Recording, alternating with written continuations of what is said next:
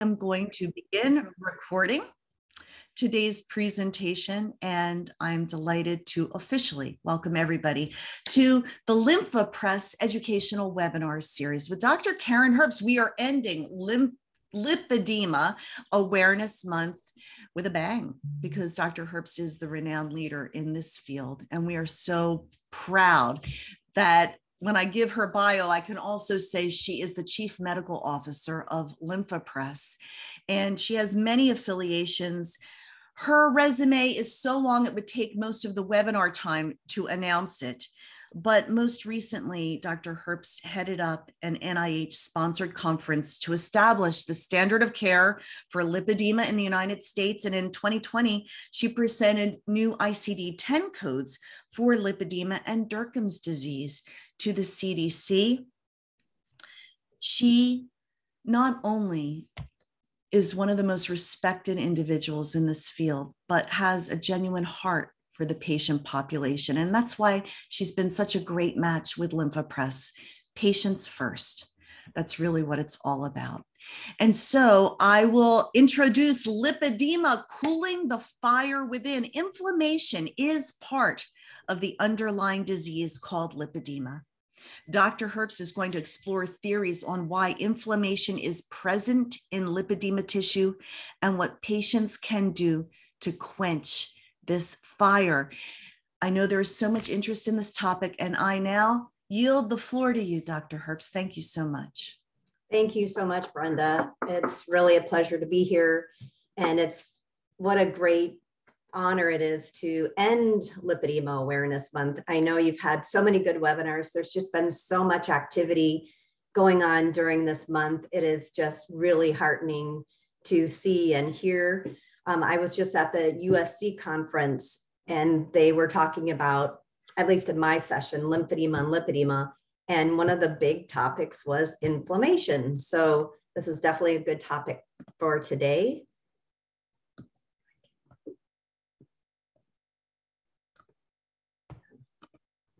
can't get my, oh, there we go. So here are my disclosures. So inflammation, what does it mean? I've been into this big definition phase. Whenever I, I see a word, I define it. And you've learned so much. So inflammation means to set on fire. So if you have lipedema or lymphedema, uh, your tissue is definitely on fire. And the Roman Celsus first described the four cardinal signs of inflammation rubor or redness, tumor or swelling, calor or heat, and dolor or pain. So if you have any of these signs, you could definitely have inflammation. And one of the things that a lot of women tell me is, I'm always hot. And that really makes me think that they may have um, complete systemic inflammation from the brain on down. So, just to set the stage for this talk, this is a cartoon of fat tissue. And you can see the big yellow cell here is an adipocyte. And in the center of it is a bunch of stored triglyceride. And you can see around the outside of it is the extracellular matrix. And the extracellular matrix is made up of fibers. And some of those are shown here, like um, the collagen fibrils, but also other fibrils. And you can imagine that this web of extracellular matrix is extending way out from the cell. But obviously they couldn't show that or it would cover up everything else on this cartoon. Also within the extracellular matrix are immune cells like macrophages, eosinophils, mast cells, but there are also fibroblasts, which stimulate inflammation. And one of the most important parts of the extracellular matrix is hyaluronic acid or hyaluronan, which is the red line shown here. And you can see that um, hyaluronan interacts directly with the cell and uh, uh, like the adipocyte and immune cells, but also other parts of the extracellular matrix. And it binds up other proteins to which other glycosaminoglycans bind. So hyaluronic acid is a glycosaminoglycan. It's a sugar molecule, but it doesn't have a negative charge. Whereas other glycosaminoglycans, like on that brush looking structure, do have a negative charge, but both of them bind up water and salt. So you can imagine if you have a lot of extra fluid in your tissue, you're going to have a lot of those brush like looking structures. When they bind up water and salt, they form a gel. So you're going to have a lot of gel in your tissue, and that gel is going to make it difficult for flow. So, flow from blood vessels through the tissue to lymphatics. Okay, so now we set the scene. So, we're going to talk about inflammation. So this is a cartoon of inflammation, and it usually starts with an injury or infection. And you can see that right after the injury or infection, you have an increase in the number of immune cells that come into the area. And the, the first cells that come in are usually neutrophils and mast cells. And mast cells secrete histamine, which cause you to swell. And that's part of the the tumor part of, of the inflammatory process. Once um, the inflammation begins to resolve, you get a lot of macrophages, and the macrophages are coming in to, to clean up the tissue and allow uh, repair and return back to normal or adapted homeostasis. However, if the body is unable to return back to normal, you enter what's called maladapted homeostasis. And this is chronic inflammation and when you have chronic inflammation, that can lead to autoimmunity. So, this is where um, the body really is on fire, not just acutely, but chronically. So, let's look at some of the data showing that we do have inflammation in lipedema tissue. So, if you look over to the far left, uh, a group out of Belgium labeled immune cells with what's called CD45. And CD45 is just a general marker of are there more white blood cells in the tissue or not? And what they found was that in women with lipedema, there were definitely more white blood cells in the tissue compared to controls or women without lipedema. And then they said, well, what, what cells are higher? So when they looked, they found macrophages were higher in lipedema than control tissue. So it looks like we're in lipedema tissue, there's that, we're in that chronic phase of cleaning up the tissue, cleaning up the tissue, but it never really fully gets cleaned up because inflammation is still occurring. And in this study by Sarah Al-Ghadban and her colleagues, um, they looked at women with lipedema who did not have obesity or women with lipedema who had obesity. And you can see they found more macrophages in the lipedema tissue compared to controls, whether the women with lipedema had obesity or they did not. So it's not dependent on obesity. It's not just, oh, you have lipedema, you have more fat tissue, you're obese, and therefore you have more macrophages, just like people with lifestyle induced obesity. But that's not true because even if you don't have obesity, even if you're stage one, you still have more macrophages in the tissue. This is a, another study uh, out of, uh, what's it, Guillermo, Guillermo's lab, can't remember his last name right now, but um, they looked, they were looking for a biomarker for lymphedema, and they included women with lipedema in their study and also other lymphovascular disorders. And what they found was compared to to uh, people who didn't have any problem with their lymphatic system, platelet factor four levels were higher no matter what you had lymphedema, lipedema, lymphovascular disease. And platelet factor 4 is kind of a general marker for inflammation. It's especially elevated in inflammation of the gut, which we will come to shortly. And when they looked at people who uh, were lean or obese and were controls, their platelet factor 4 levels were relatively normal. So it, it, it this marker is not dependent on obesity. And if you had a lymph- lymphatic disorder, whether you didn't have obesity or you did, it didn't matter. Your platelet factor 4 levels were higher than controls. Does this mean you should run out and get your platelet factor 4 levels checked? No, because this is still in a research based phase and it probably isn't going to change your management unless you're definitely looking to find a marker of inflammation so you can undergo a particular treatment. And finally, when you have inflammation, things get broken up in the tissue, and these little pieces of, of tissue are called antigens, or a, an infection um, with a, a, virus or a bacteria can get broken up and form these little pieces. And those pieces are also called antigens. And there's some cells in the tissue um, that are positive for a marker called CD11C. And these are called dendritic cells. They're antigen presenting cells. And they ask the question, are CD11C cells higher in lipedema than controls? And you can see in red here that when they took tissue from the thigh, CD11C cells were definitely higher in the thigh compared to control. But look at the lipedema abdomen. I find that to be very interesting. What if we had a few more women in the study? Do you think that the CD11C cells would be higher in the abdomen than controls? Do you think that the abdomen is affected in lipedema?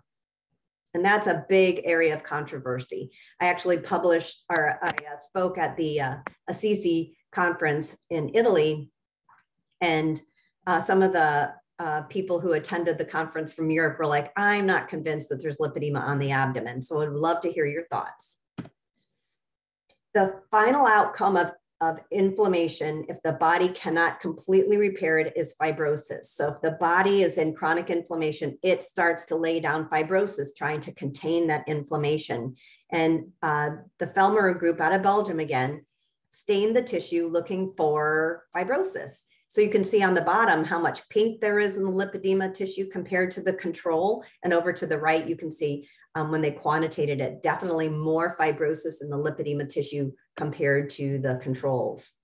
So yes, there's more fibrosis in lipedema tissue. So what is causing this inflammation? If we could figure this out, we could stop it. So Sarah Al-Ghadban and her colleagues again looked at the small vessels in the lipedema tissue. And what they found was the small vessels, including the capillaries, were dilated.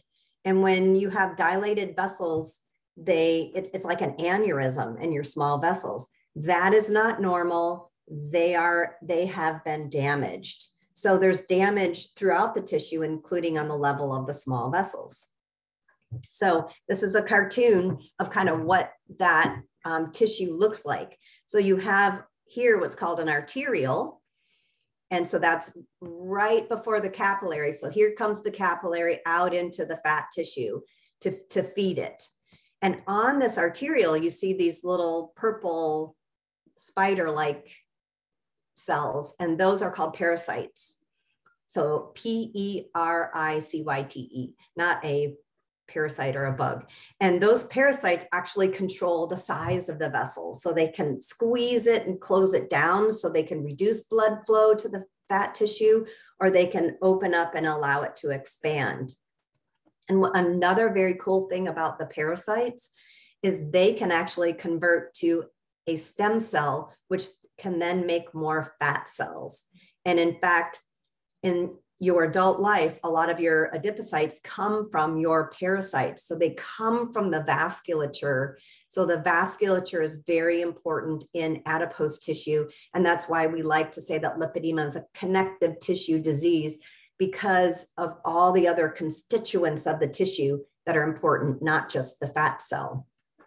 And if we slice this vessel and look at it from the side, you can see that the little purple pericytes are on the outside and then these little red cells here are endothelial cells, and those are, are the lining of the vessel. And what's really cool about these cells is they too can convert into adipocytes.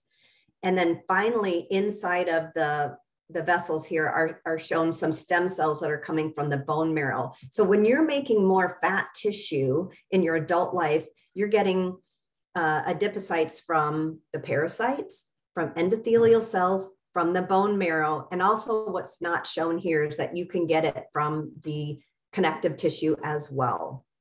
So, if you damage the tissue, what is happening to your ability to create more adipocytes? Is it increasing it? Possibly. So, this is a, a, a data from a single person and they looked very closely at the capillaries. So those are the smallest vessels in your body. So we were looking at the arterioles. Um, after the arterioles are capillaries and then post capillary venules. So you can see that this capillary surrounded by fat cells, one, two, three, four, five. And also right next to the capillary is some fluid that is entering the tissue. So this vessel looks like it's leaky. So it's probably been damaged. And if you look at it from the side, you can see that the walls are thickened. And that is suggestive of long-standing chronic inflammation followed by fibrosis. And here's the post-capillary venule. So that's right over here it's dilated. So it's also damaged and leaky. So, you know, this was published back in 1986. So our group said, well, let's repeat that and look at more women with lipedema, not just one. So we published a paper looking at the vessels in the skin of women with lipedema. And this happens to be a woman with stage one lipedema. And you can see um, the surrounding connective tissue is pink.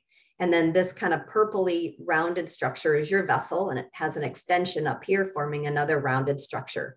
Now, what you see around the vessel is white, and that white is the leak. That's that's fluid that's surrounding that vessel. And this is the exact same thing that you see in lymphedema. Also, you see a lot of these dots here. Those dots are immune cells. So there are, are more in, immune or inflammatory cells surrounding this vessel. And finally, another sign of leakiness, in addition to the fluid being present, the inflammatory cells, are the endothelial cells here have rounded up. And when the endothelial cells round up, they actually create a big space and fluid can just shoot out into the tissue. And when we quantitated that, we found that in uh, 21 women with lipedema versus controls, that there were more signs of leaky vessels in women with lipedema compared to the controls. So I think we've pretty much so established that there seem to be some leaky vessels in lipedema tissue. But in support, a paper that just came out um, of Vienna showed this data. And this is some of the coolest data I've seen in a long time. So, what they did was they took our hypothesis and they said, you know, well, we showed that there were leaky vessels and, and they wanted to prove it. And if if you um, show some data in the literature, you really want people to try and prove um, right or wrong what you've done so that we can really understand the science behind lipedema. So they took uh, lipoaspirate. So liposuction, you know, whenever you get in your big container of liposuction, they took that what what's called lipoaspirate. They digested away the mature fat cells and just got rid of them. And what was left was a whole bunch of other cells, um, immune cells, stem cells, um, and endothelial cells. So they isolated out those endothelial cells that we, we saw before, the lining of the vessel, and they grew them up in culture. And then they taught a computer program um, with uh, using artificial intelligence to identify endothelial cells that made a good connection to another endothelial cell. And the, this is called a tight junction where cells bond tightly together. And one of the proteins in that tight junction is called zonulin. And that's shown here as ZO-1, and it's in red. So zonulin is a good marker of a close interaction between cells. So they taught the um, computer program to identify close connections, and that would be more likely a control, or a leaky connection, and that would more likely be lipedema. At least that was their hypothesis. So if you look on the top, the um, artificial intelligence said in, in these three control samples that there was a 60% chance, 62% chance, 66% chance that these cells made very good tight junctions, therefore they were most likely control. But look at the bottom. In the samples that came from women with lipedema, there was a 74.3, 66.7, 99.9% chance that these were leaky endothelial cells. And they hadn't done anything to them but grown them up in culture. So they said, why are these leaky? Let's look at this in a different way. So they took the lipoaspirate, got rid of the mature adipose cells, and just took all the cells that they had and tossed them into a culture dish and grew them up in a liquid medium. And they grew them up for a certain period of time. And then they took the liquid medium off and they called that a secretome. And that means whatever those cells secreted into that fluid, that's what they took. Then they grew up um, normal human endothelial cells that you can buy from a company, grew those up in a culture dish, and they threw on the secretome from the controls and they threw on the secretome from the lipedema tissue. And you can see here on the top for the control secretome, added to the human endothelial cells, there was a 97.6, 99%, 97.1% that these cells did just fine. They weren't leaky, like they looked normal. You can see the beautiful red zonulin throughout. On the bottom though, when we looked at the lipedema secretome, there was a 98.8%, 86.9%, and a 96.2% that these endothelial cells became leaky because of what we took out of the lipedema tissue and dumped on top of them. Aha. So maybe it's not an inherent problem in the endothelial cells. Maybe it's something else. So I made a list of all the different things that could cause leaky vessels. And remember in the beginning when we were looking at inflammation, look at that histamine. Histamine comes from mast cells. Could it be inflammation in the tissue itself causing the leaks in the vessel? Could it be pericyte damage? Or could it be something being produced by the extracellular matrix? Or could it be something else altogether? So I'm sure this group is looking very closely at the different substances in that secretome from the lipedema tissue to figure out what this is. So that's something exciting to look forward to. When you have damage to your your blood vessels, especially your micro vessels. Normally, you have a little bit of flow out and it's very well regulated. But when you have acute inflammation, you have a lot more flow out into the tissue. And these changes tend to develop slowly. And it, they don't happen acutely, like right when you um, develop inflammation, bam, these things happen. They take a while. So, whenever you see problems with the vessels, this is chronic inflammation. And therefore, I think uh, we can be assured that what we're looking at, at in, in lipedema tissue is chronic inflammation. So, what causes that inflammation? Well, we have some ideas that there's something being secreted. We don't know what that is. So, let's look at other things that can induce inflammation. So, if I could go back in history, the one person that I would choose to meet, at least today, would be Hippocrates. And Hippocrates said, All disease begins in the gut. So this is a quote from David Perlmutter. He's a functional doctor. Um, I think he's pretty good. Uh, he said, researchers have known for some time now that the cornerstone of all degenerative conditions, including brain disorders, is inflammation. But what they didn't have documented until now are the instigators of that inflammation, the first missteps that prompt this deadly reaction. And what they're finding out is that gluten and a high carb diet are among the most prominent stimulators of inflammatory pathways that reach the brain. So not only do they not only does inflammation affect the body, but it extends to the brain. And I'm sure some of you have had those days where you think, you know, I, my brain's not working really well today. I'm not having, um, I'm not remembering things as well as I should, or I'm forgetting words. And then the next day you might feel better. So gluten and inflammation. So it's suspected that gluten proteins, along with other components of the wheat, activate an innate immune response in the body. And is this because of the way we grow our wheat? Is it because it's GMO? Is it because of all the pesticides?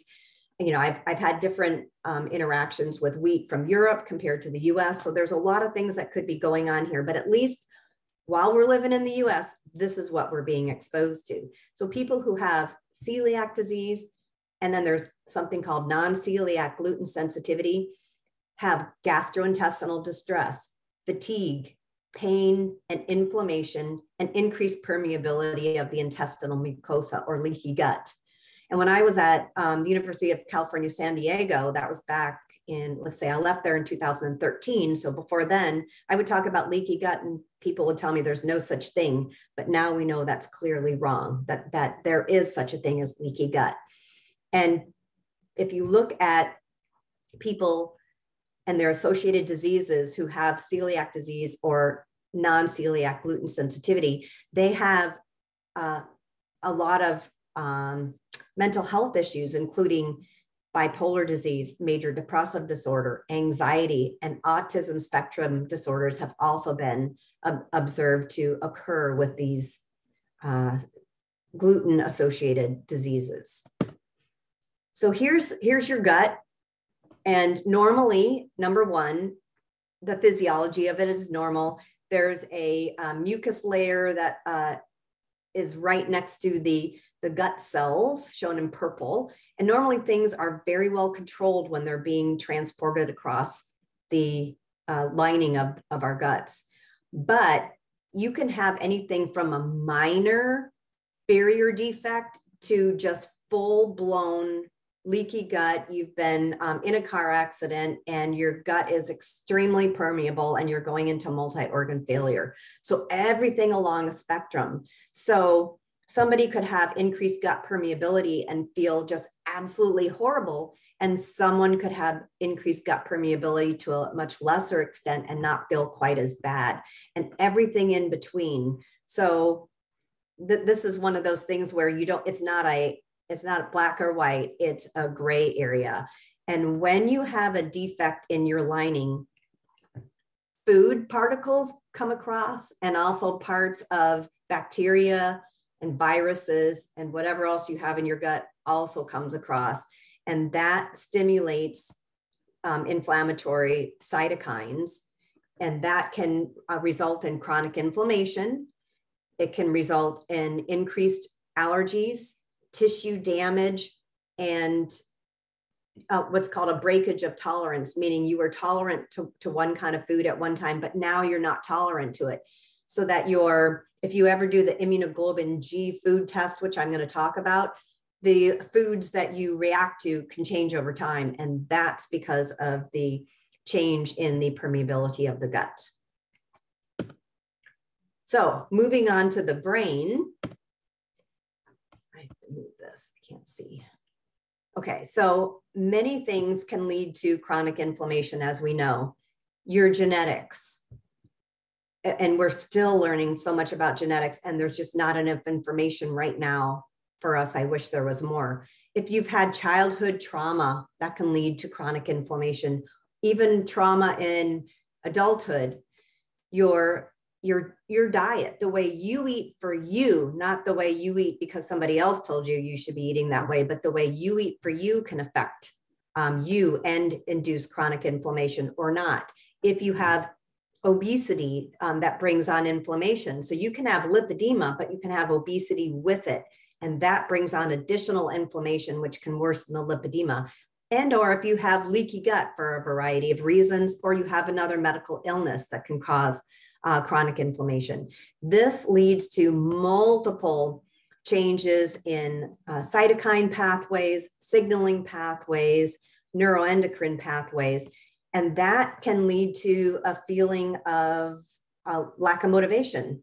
Like, I don't feel like doing anything, or your just body feels heavy and you just can't get it to, to go and move forward. Um, so when your doctor says, why aren't you doing the things I tell you? And you could say, I have, I think I have chronic inflammation because I just don't feel like doing things like I used to before. You can get anxiety. It can impair your sleep. And that can all lead to um, changes in your immune system. So it shows T cell dysfunction here, but many other changes as well, including in the brain. So stress, depression, and inflammation. This is so interesting, and I think it's really um, under discussed, and it certainly can't be discussed in a clinical appointment with your doctor because you're worrying, worried about a lot of your physical things. But if you have stressors in your life, those and again from childhood on and everything in between they can those stressors activate key inflammatory pathways in your white blood cells so your stress you experience actually changes your white blood cells so that they work differently and they start secreting pro-inflammatory cytokines.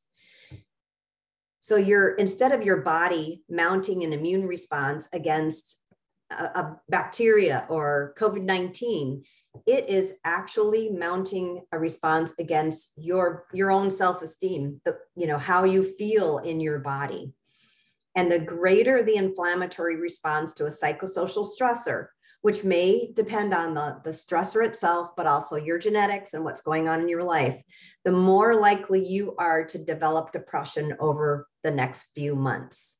So, again, the greater the inflammatory response, the greater your chance for developing depression. And the data supporting inflammation and its association with depression and anxiety are extensive. So the thought is that instead of giving people antidepressants, which change the neurotransmitters in the brain, what we should be focusing on are anti inflammatory treatments to benefit people living with depression and anxiety. But my feeling is we should be developing anti inflammatory treatments for people living with chronic disease and at risk for developing depression and anxiety. And it, this is out there in the general literature. This is a, quote from a, a quote from a book um, by Mar- Margaret Rogerson called The Sorcery of Thorns. And this is a young adult book. And I can't see.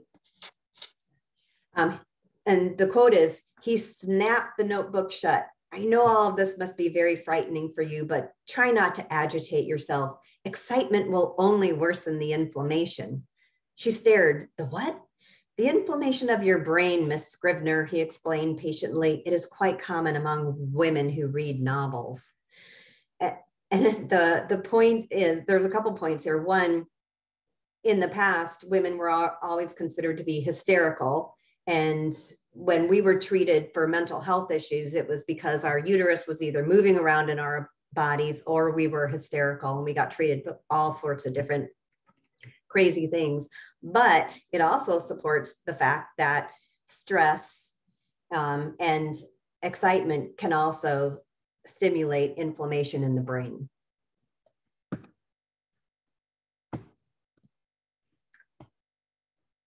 So, lipedema, how is it related to secondary lymphedema and other lymphovascular disorders?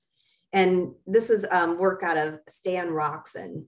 And what they did was they they took information from people with uh, lipedema, secondary lymphedema, lymphovascular disorders, and they looked at what other um, conditions they had.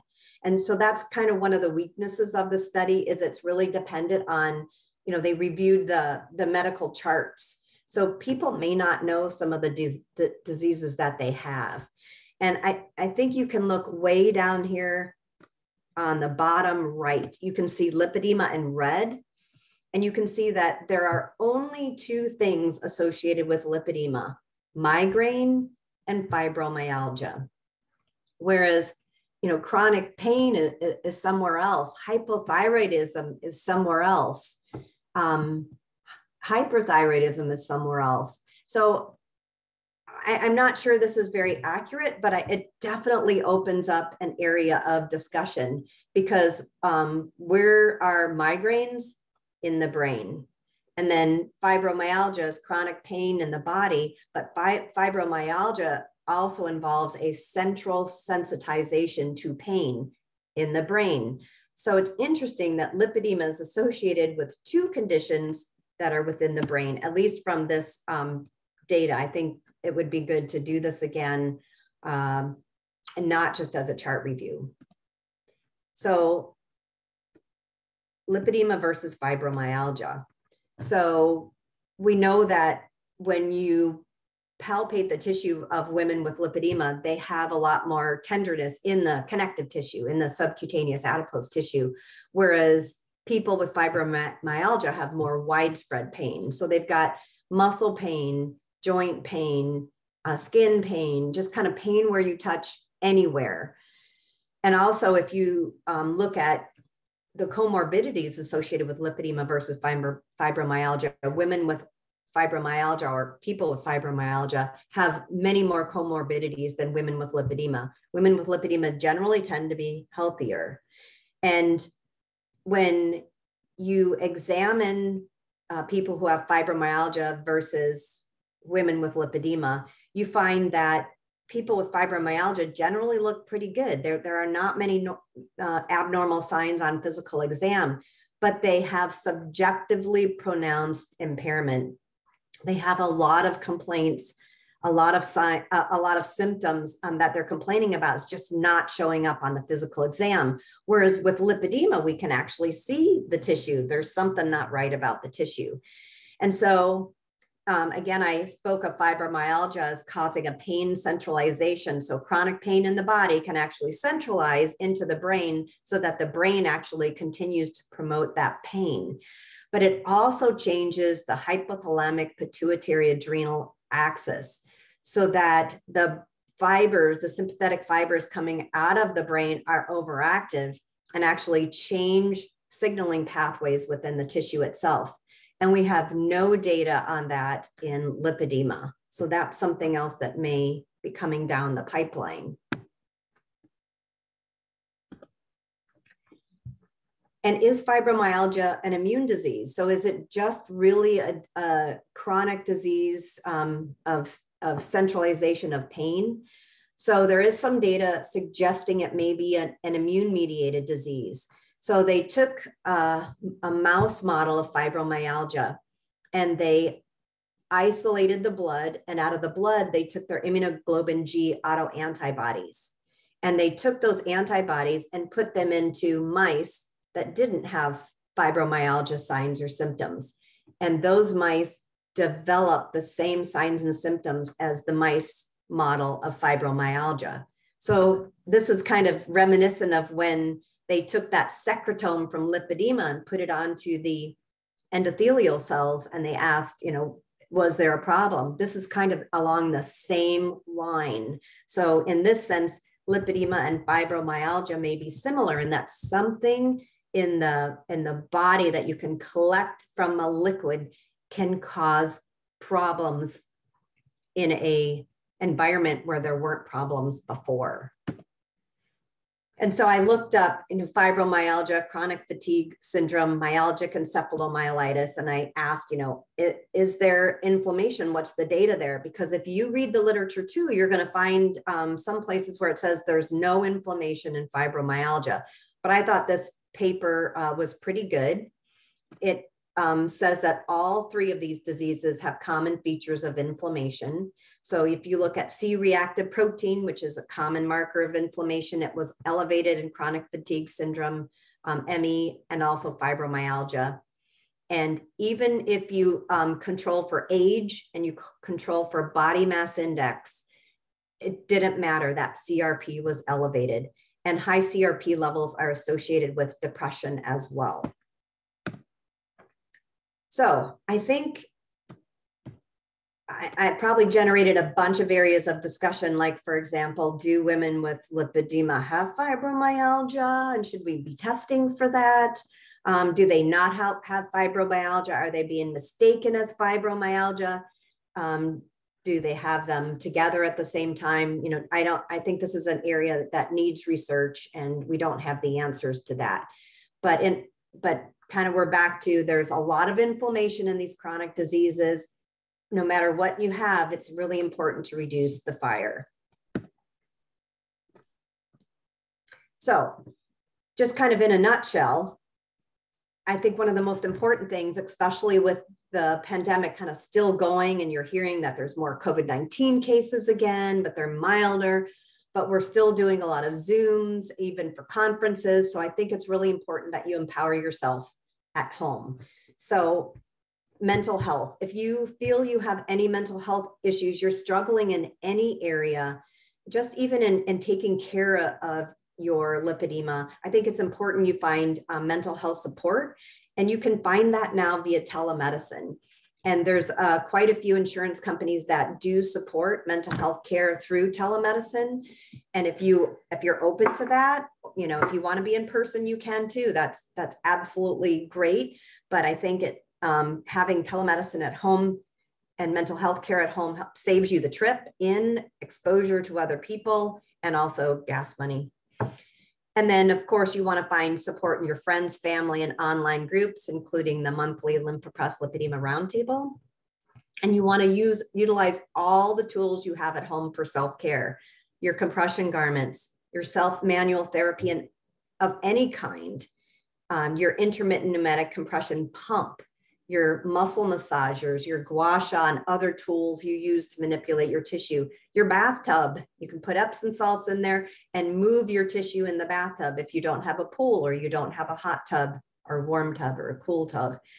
Uh, breathing exercise is super important. If you don't have a, a, plan, you could just look up Wim Hof. He has a, a great breathing program on YouTube exercise, exercise, exercise, movement of any kind, keep moving, eating well, and sleeping well.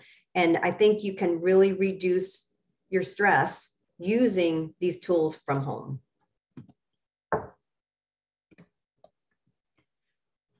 This is a study that came out of Dr. Amato from Brazil. Hopefully, I got that right. And he used, he was a surgeon and he um, found out that he could actually uh, reduce the amount of adipose tissue on women with lipedema using an anti-inflammatory diet alone or followed by a low carb diet, aquatic exercise, and manual lymphatic drainage. And then he gave them some antioxidant herbal med medicines, which Linda Ann Kahn and I and others have been recommending for years and years, like diosmin, quercetin, other flavonoids, rutosides, which we don't use a lot here in the US, but which you can easily get online, and butcher's broom. And this is just one picture from his paper showing um, uh, that this woman had a nice reduction in her lipedema tissue and she felt better and her pain went down. So this really supports that we can treat the inflammatory component of lipedema.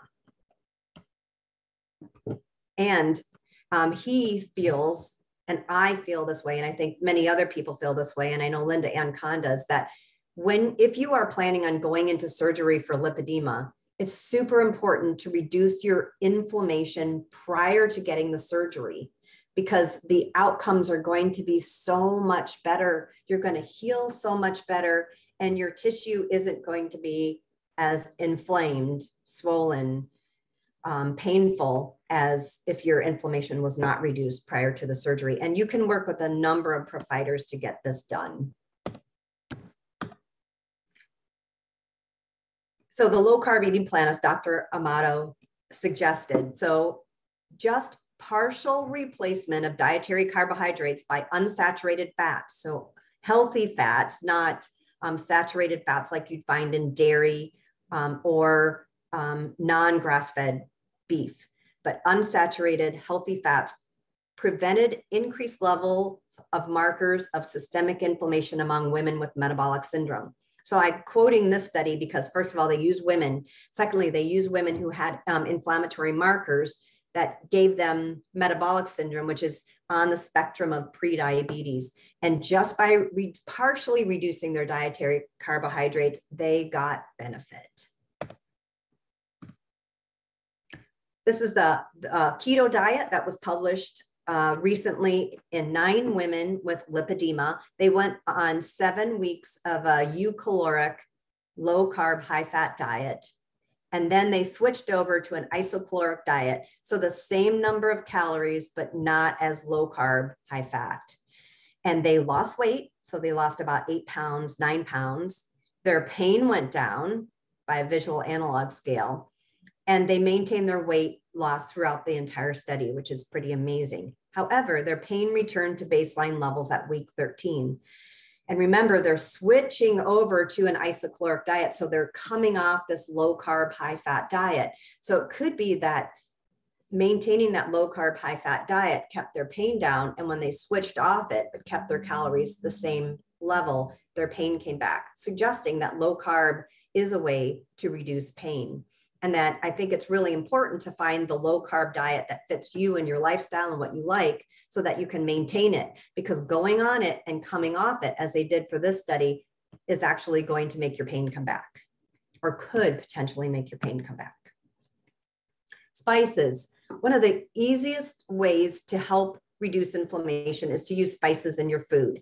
And this uh, is a little complicated, but it's basically just showing that um, like cardamom, cinnamon, curcumin, turmeric, piperine or pepper. And actually, white pepper is more anti inflammatory than black. Quercetin, um, sesame, thyme, just all sorts of spices uh, reduce um, bad um, inflammatory cytokines and increase good anti-inflammatory cytokines to reduce chronic disease. So maybe just looking through your spice cabinet and thinking, what spice can I add to my food today? And omega-3 fatty acids, a great way to uh, reduce inflammation. So in this study, they used a, a special um, it's, called um, special pro-resolving mediators that they got from uh, the omega fatty acids, DHA and DPA. And these SPMs are lipoxins, resolvins, protectins, and maresins.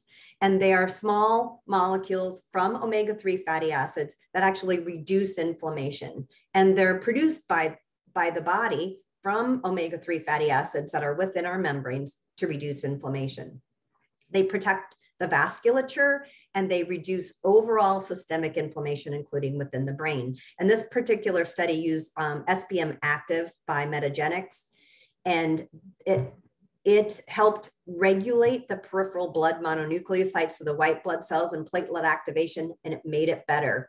It increased the ability of cells to phagocytize, to take in and eat some of that debris in the tissue. So those macrophages started working better and it changed the cytokines that that immune cells were secreting so they weren't as inflammatory. So spices low carb diet spices and omega-3 fatty acids three pretty um, general easy ways that you can empower yourself to reduce inflammation at home. Now if you don't know what you should eliminate in terms of food you can do um, an elimin- elimination provocation eating plan. So you basically eliminate inflammatory foods for one week to four weeks, and then you reintroduce them to see what happens. And you basically go by how you feel. How does your gut feel? How does your brain feel? How is your pain? And the, the common foods that create allergic or inflammatory reactions are listed below. We already talked about gluten. And if you are reacting to one of these, and not everyone will, but if you are reacting to one of them, if you eliminate them from your diet, you may find you lose a little weight. Your swelling may go down. You just feel a little bit better. Some of your chronic symptoms reduce. So, gluten, dairy, corn, eggs, soy or nuts, nightshade, vegetables, and fruits, citrus, and yeast. So, I, I kind of got into dairy and I asked myself, is dairy really um, inflammatory? Um, so this is a study showing that um, if you, anti-inflammatories in black and all these, if you are a healthy person with no real issues, dairy is anti-inflammatory for you.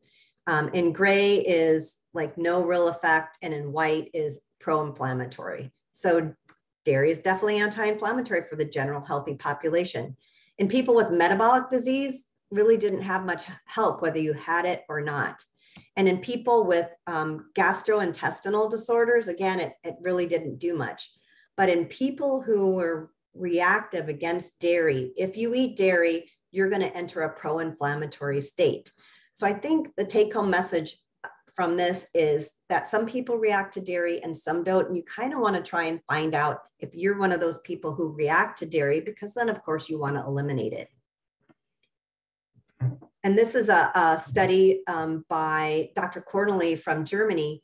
And he showed that women uh, with uh, lipedema and obesity could lose weight if they had bariatric surgery.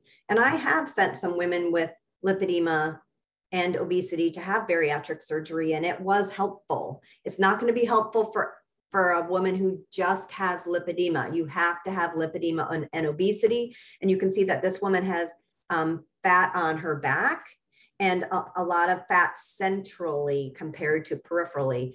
She lost an incredible amount of weight, but she still had nubbins of lipedema tissue on her legs. So in this study, they lost about 73% of their excess weight, which is incredible. Their body mass index dropped, but their pain score did not change.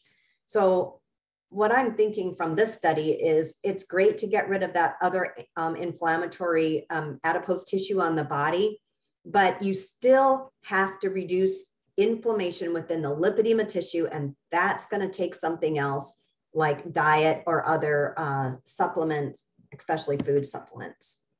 So you want to find out if you react to foods. How do you do that? You can do that elimination diet, as I mentioned, or you can do uh, true allergy testing. And you can do this either by a blood test called RAST blood testing. You can see an allergist for skin prick or patch testing. And this is again for immunoglobulin E, that's a true allergy to the food you're being tested for. Or you can look at IgG delayed allergy or delayed hypersensitivity reactions. And this is the test that a lot of traditional doctors don't like. It is not it is not the best test, let's just say that. However, if um, if you haven't, if you don't have any, of if your your IgE testing is normal and you're you've done some elimination work and you're still trying to figure it out, I think it it would be an okay test to go ahead and get. And the reason is because they did a study in people who had irritable bowel. So for three months, they um, consumed a diet excluding all foods to which they had raised immunoglobulin G antibodies. So they did an elimination diet based on the IgG food allergy testing, and they had a significant improvement in their clinical signs than people who ate a sham diet. So in the sham diet, they excluded the same number of foods, but not those to which they had antibodies. So yeah, it's a, I would say it's a, it's a bottom tier for testing, um, but it can be useful for some people, especially if you have signs of irritable bowel syndrome. And if you find that on your IgG food allergy testing that you react to every single food, then you likely have leaky gut and your focus needs to be in improving the leaky gut that you have. So, according to Mark Hyman, um, who is also a functional doctor, he said consuming a low allergy diet for just one week will help you eliminate your excess swelling and flu- fluid that accumulates in your tissues from food induced chronic inflammation. So, one week seems reasonable to me. So, in conclusion, depression may be a sign that you have inflammation, and I really think it's important to get help. I would actually add on here if you have depression anxiety or you're just you're struggling you're you're in a stress mode get help and that includes telemedicine but also includes supports in, in group like this.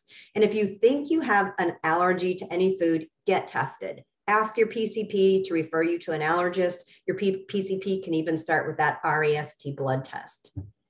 And again an elimination diet for just one week can help you identify foods that may be causing a leaky gut lowering carbohydrates, especially processed carbohydrates, bread, pasta, is one of the most important things you can do. And we saw that zonulins were important in the adhesion of the endothelial cells, but zonulins are important in the gut to prevent leakage in the gut. So, could zonulins be important in the pathophysiology of lipedema? And doing research into zonulins is really fun. Make sure your inflammation is as low as possible before you have any surgery, before you undertake anything new, even if it's not surgery. And ladies, you can do this because you are ladies of steel. And I say that because of this quote by Richard Nixon the finest steel has to go through the hottest fire. So thank you so much.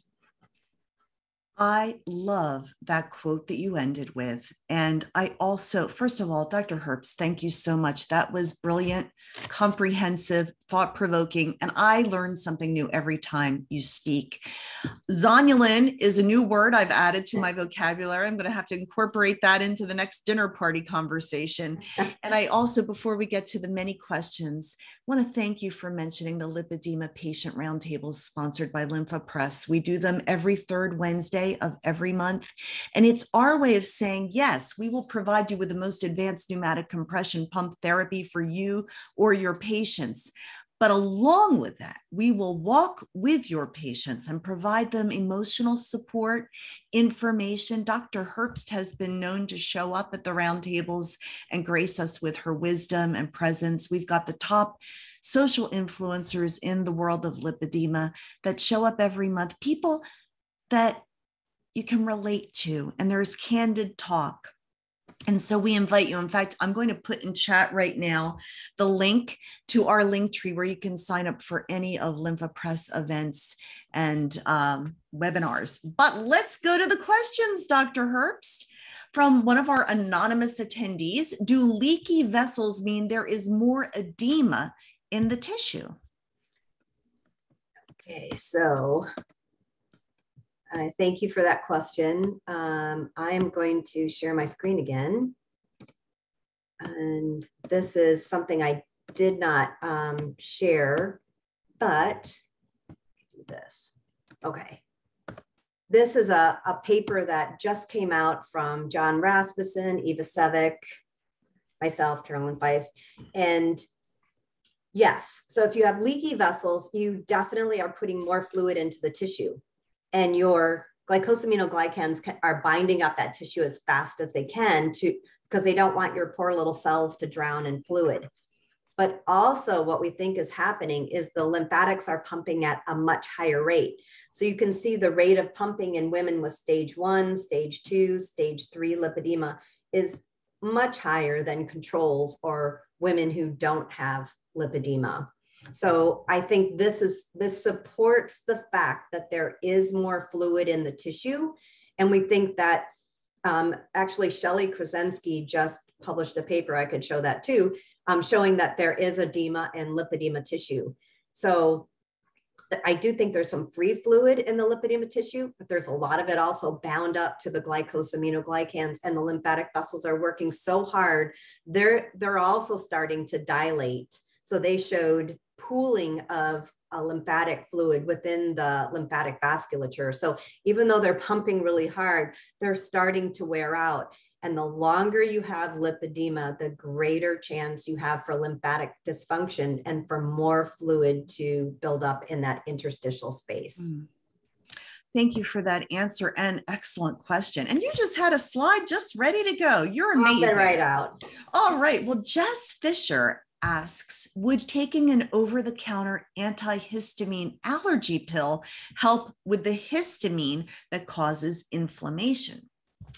Very excellent question. So, what um, so i um, if you were at the fat disorders resource society conference in april we had uh, an eminent speaker dr larry afrin who talked on mast cells and mast cells are one of the cells that secrete histamine if you're going to take something to treat excess histamine in the tissue, you really want to know that your mast cells are overactive. So the best thing to do is to find a mast cell expert that would be an allergist or an immunologist and get blood and urine testing to find out if your mast cells are overactive. And the reason for that is if you try an antihistamine over the counter and, and it doesn't work, does that mean that you don't have mast cell activation? Maybe not. And if you actually react to the over the counter allergy medication because your mast cells are so overactive and they're reacting to one of those excipient ingredients, then you'll say, Oh, I, I can't take that. I stopped. But there might be another manufacturer who makes that particular uh, antihistamine without some of the gook in it that you're reacting to. So it, it's actually kind of complex. So I'm not sure I would tell anyone, oh, just go take some antihistamines and that that's going to solve your problem because the inflammatory pathways are so complex. You really want a partner to, to help you through it. Can I just say how much I appreciate that you are brilliant and yet you use words like gook? I think it makes all of us feel a little more comfortable. We know that we have both patients and medical professionals out there. And I love that your content speaks to everyone, no matter what their level of expertise or education is. Gook is a term I understand. Um, so you really did toward the end of your presentation speak to this, but we also had a question Is there a suggested diet to recommend for patients that have chronic inflammation of the gut? You were pretty clear about some of the things to avoid, but you also said not every body is the same and doesn't respond the same. Right. One of the, you know, you know, I've, I've had some women have super success on the keto diet, but what I found is uh, some of them will go on the keto diet and then they'll go off the keto diet and they'll gain a bunch of weight. And then that weight becomes hard to lose. So I don't I don't like to call them diets. I call them, you know, eating like how how do you eat now? Mm-hmm. Because you want to find a way to eat that pleases you, that you can you can that's not going to be too difficult for you to do. Like if you go out to restaurants all the time, you've got to figure out how to eat at restaurants all the time. So having a provider like a nutritionist help you at least through part of your journey um, so that they can provide you tools and tips but also making sure that whatever you start this is something that you're planning to stick to and whether it's a super low carb moderate low carb mildly low carb you know whatever step you decide to take is personalized for you and what works for one person doesn't work for another because as we saw your genetics also impact how you respond so someone who does fabulously on keto there might be another um, lady with lipedema who looks almost the same, same age, everything, and she's not responding the same way. What is going on? And that's where you really just need someone to kind of help you figure out maybe you have other causes of inflammation that we need to address first to allow you to respond to uh, a particular diet. Excellent. I could already long-winded, but no, no, no. That was great. And actually, we're going to begin doing a series on our LymphaPress social channels, Ask Dr. Herbst. And I think some of these questions make perfect fodder to help promote because they're common questions that a lot of people have. Yeah. This is a drill down question about what to avoid when it comes to nightshades. Corinne Burchett, thank you so much for being with us today, Corinne. She says, okay, I understand tomatoes, potatoes, eggplant, but what does bell peppers one mean?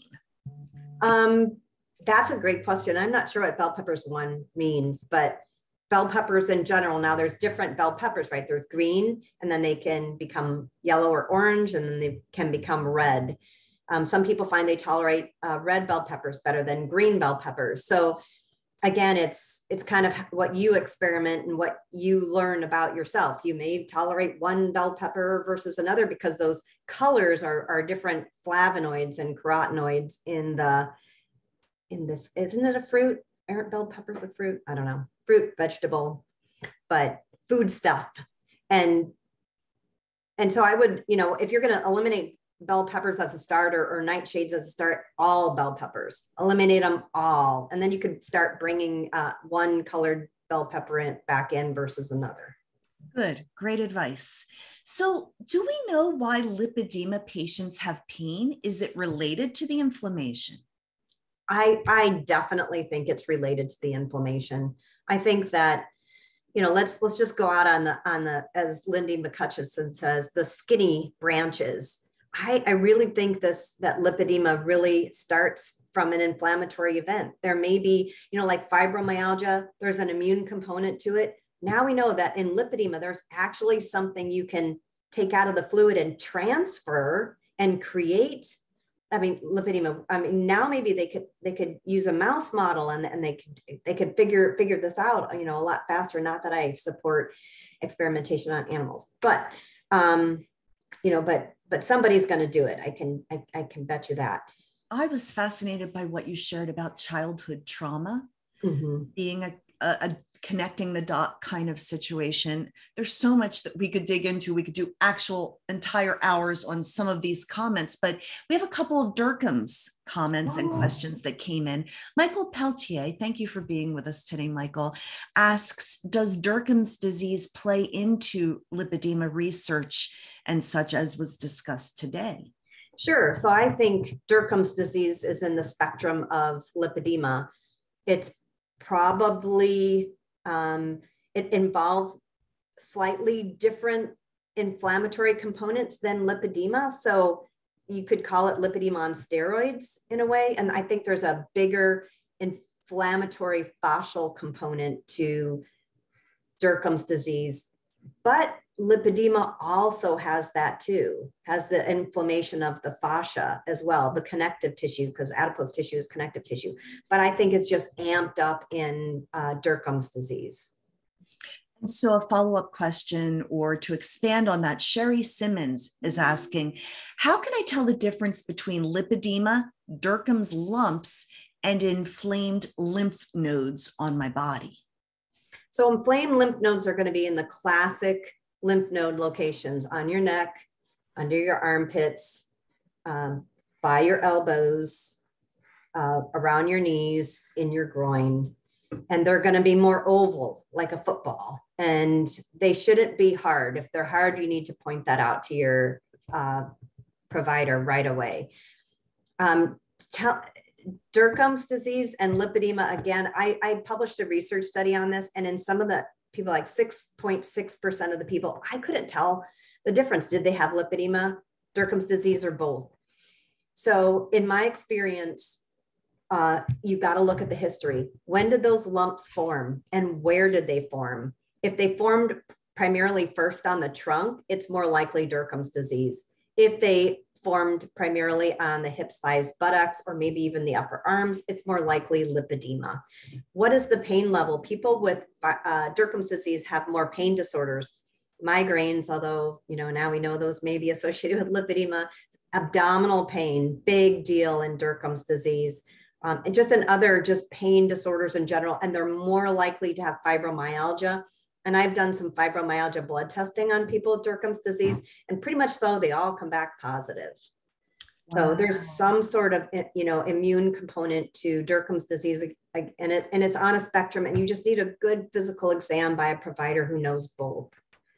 So, this question is a little heartbreaking, and I don't even think that we have an answer for the actual question, but let me share what this anonymous attendee wrote. My primary care doctor says fibromyalgia is a mental disorder.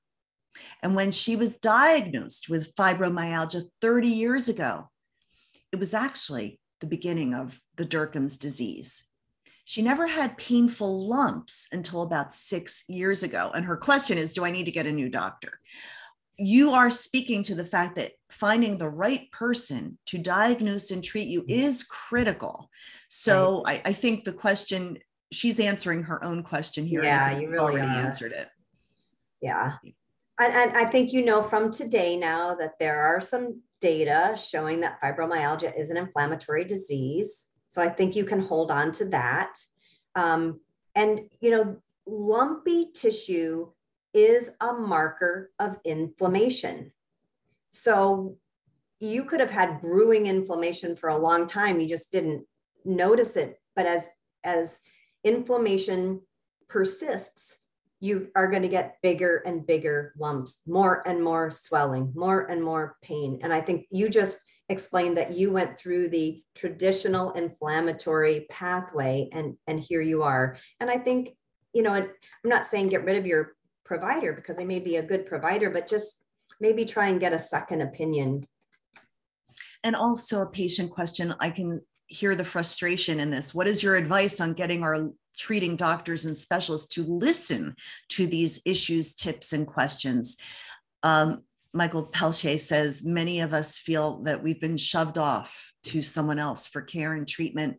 They don't know that lipedema, mast cell, and more are what they are, and they won't research or investigate. What can we do? I know that one of the things we that has been critical for patients is being able to print out or get on their phone and share the standard of care for lipedema in the United mm-hmm. States because many of the things that you shared, including pneumatic compression, were included in that standard of care. What can patients do to highlight the need for the, the fact that they need attention? Yeah. So I, I know that that caring for people with chronic disease and not just lipedema Dercum's disease is a problem in our healthcare system because we're given so little time that we can only do one or two things at a t- at least the, I, I have more time with my patients but the regular pcp has 10 15 minutes with you that's it so they're going to do one or two things for you and shove you out the door. So i think probably the best thing that you can do is to focus on on one thing that's really important to you and try and get a referral to another especially a specialist. So if you think you have an inflammatory condition maybe a rheumatologist would be a good place to go and maybe a dermatologist uh, would be a good place to go. Um, just try and get uh, build a team build a team of people get find a therapist that helps you so that you can get all the therapies that you deserve. And then when they run out, you know that you still have that therapist and you will go back to them. So I think it you can't just have one provider taking care of someone with chronic disease. You need to have a team. And my patients that are the happiest tell me, I've built a good team. Ah, that's awesome. And remember, be resilient, be your own advocate. Don't give up. I interviewed a woman recently. She waited 30 years to get a diagnosis, and now she has her LymphaPress. She is managing her condition, and it's helped her mental health too, because she knows that instead of lipedema controlling her, she is controlling it.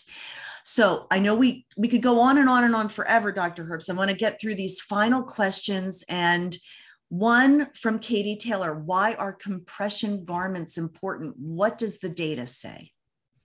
So, the data for compression garments say that they definitely help reduce pain and they if they help maintain the benefits from your treatment so if you for example use a, a pump and you pump out a bunch of fluid and and the gook in the tissue and you put your compression garments on, then they're going to help maintain the the lower levels of fluid and all the other all the other gook in the tissue.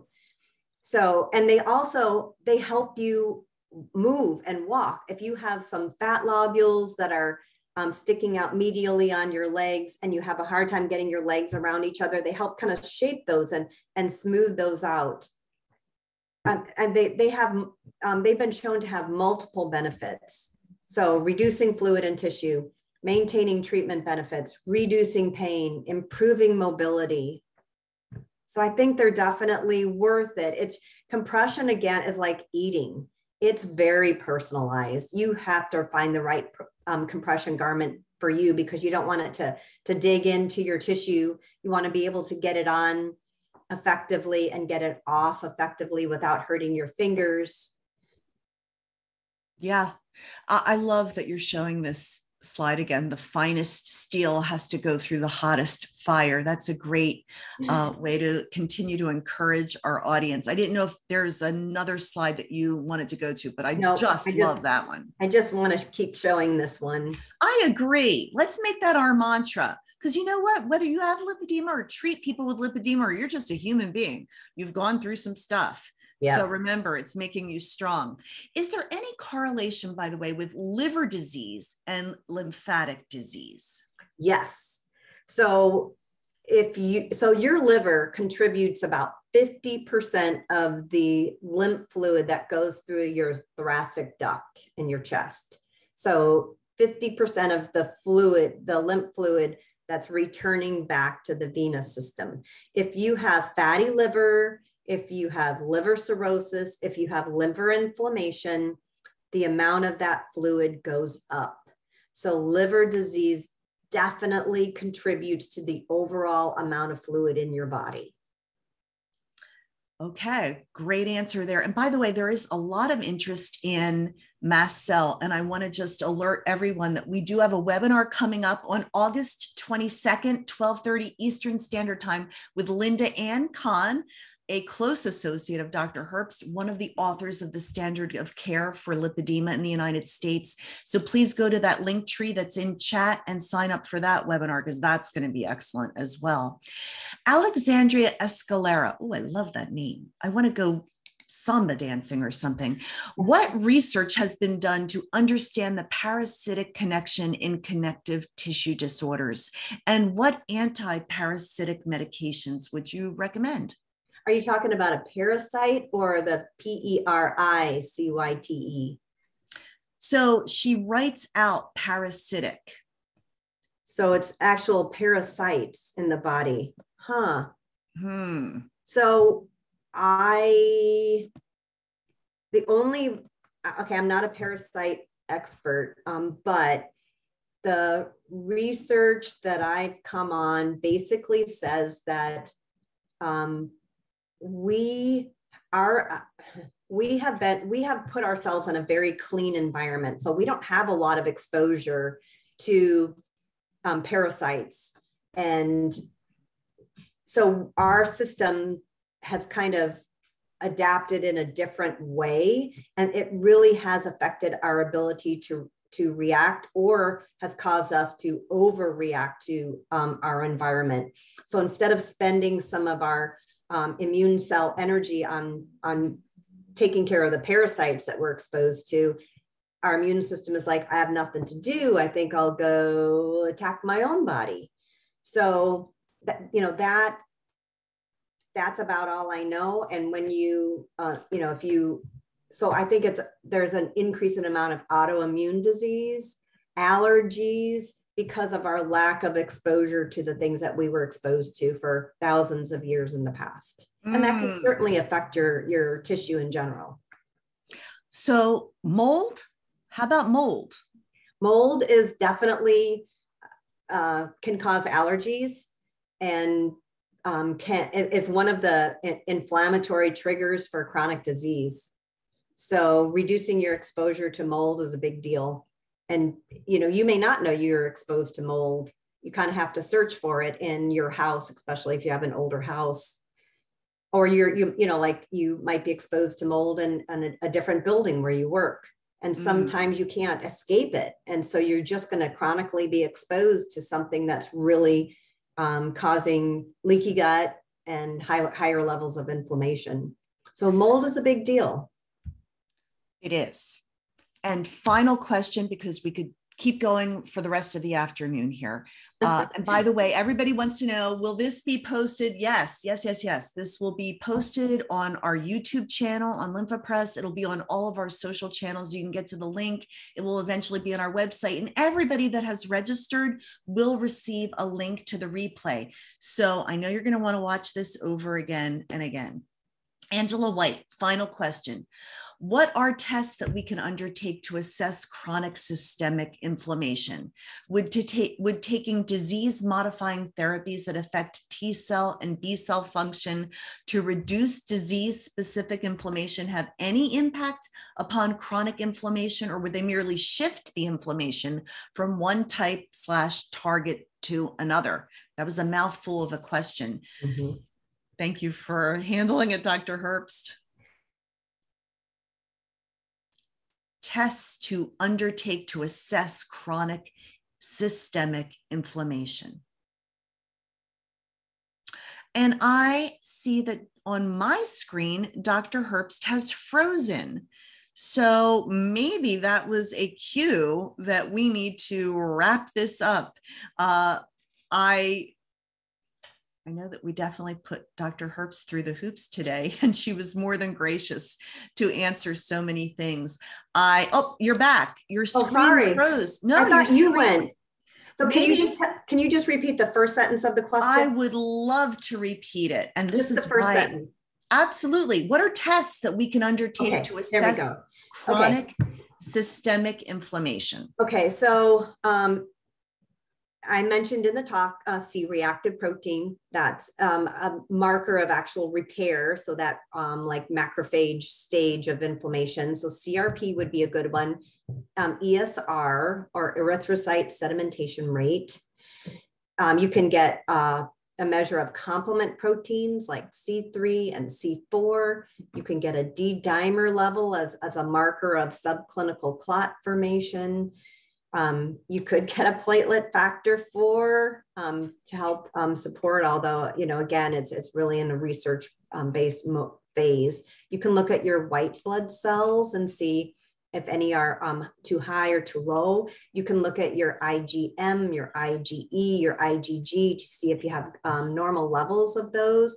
You can look at your subclasses of IgG, your IgG 1, 2, 3, 4. So there's a whole bunch of things that you can look at, probably best done by a rheumatologist if you're looking for hidden inflammation. But there are very few rheumatologists out in the world. I'm not sure they would see you just to search for inflammation. They would want to know why they're seeing you. And then, um, would disease modifying medications be useful? They would be if you figured out that you had some markers that were high and that were definitely causing you problems. And those medications are not without side effects. And one of them is um, infections and infections that can put you in the hospital. So you do not take those lightly. And I just feel like we need a little bit more information in lipedema before we start um, using those agents. Those are often used for things like lupus and when there where there are severe consequences of having lupus and rheumatoid arthritis and things like that. So other, so you know classic autoimmune diseases that cause damage to the body. Dr. Herbst, your devotion and dedication to this topic, to this condition, to raising the banner and working with such amazing people who many of them have joined us on today's webinar, like Linda Ann Kahn, like Kathleen Lisson, so many others. You give hope to people. And that's why we're so honored and proud to work with you. I can't thank you enough for your time. Thank you, audience. You've been so engaged. Your questions have been invigorating. This was amazing. And we look forward to sharing it over and over again to help continue to underscore the importance of attention to this. And again, Great job, Dr. Herbst. So I'm applauding, and I think the whole audience is too. We've got so many people in chat saying, Thank you, Dr. Herbst. Thank you, Dr. Herbst. And I'm right there along with them. Thank so, you, everybody, for coming and attending. And um, happy Lipedema Awareness Month. It's still going on. That's right. That's right. And it's every month at Lympha Press. We hope to see you at an upcoming webinar, roundtable, or other event. And to, to end it all, have a great day, everyone. We'll see you soon. Bye. Bye.